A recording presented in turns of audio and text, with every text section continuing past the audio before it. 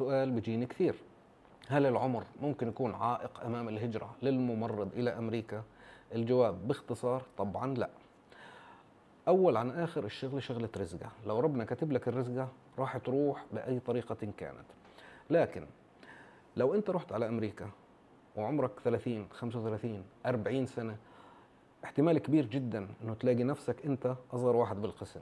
لأنه في بعض الناس وصل 80 85 سنة عمره ولسه بيشتغل. عارف حاله بحب هاي المهنة من ناحية. ويمكن بعض الناس عارف حاله لو قعد في البيت ما حد راح يصرف عليه أو يسدد له فواتيره أو كهربته أو ميته. فعلى كل مهما كان السبب 90% راح تلاقي القسم فيه 10 منهم 8 أو 7 أكبر منك. هاي نقطة.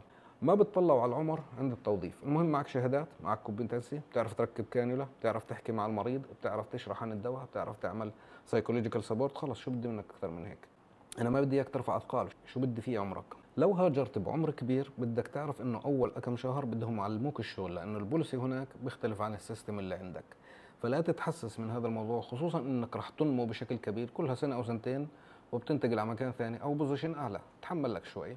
في ناس ما بحب يكون طالع من منصب يكون مثلا head nurse أو supervisor ويروح على بلد ثاني يرجع junior من جديد. هاي مشكلتك لأنه زي ما قلت لك النمو سريع كثير راح يكون. إحنا ببلدنا بتقعد 12 سنة تصير charge nurse أو حتى acting charge nurse وبعديها كمان 10 15 سنة بتصير head nurse أو سنة أو سنتين acting بعدين بتصير head nurse هناك لا.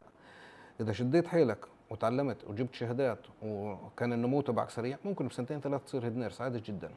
بالنسبة للمرتب لا تفكر بالمرتب. وين ما رحت مهما كانت المدينة أو الولاية المرتب راح يكفيك راح يكفيك حتى لو عندك ألف ولد. لأنه الضرائب مش عالية كل ما خلفت أكثر بتكون الضرائب أقل وكل آخر سنة في شيء اسمه tax return أنت دفعت مثلا 10000 الحكومة ما احتاجتهم كلهم تيجي آخر السنة تقول لك لك عندنا 2000 لك عندنا أربعة. ممكن ترجع لك العشرة كلهم عادي.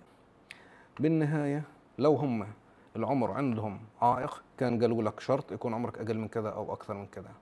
فما دام هم ما دقوا على هاي النقطة تفكرش فيها. وبالتوفيق للجميع.